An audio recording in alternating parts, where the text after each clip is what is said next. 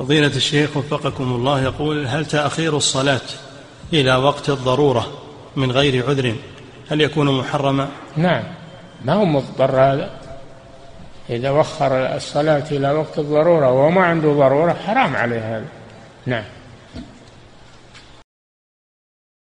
المكتبة الصوتية لمعالي الشيخ صالح بن فوزان الفوزان حفظه الله.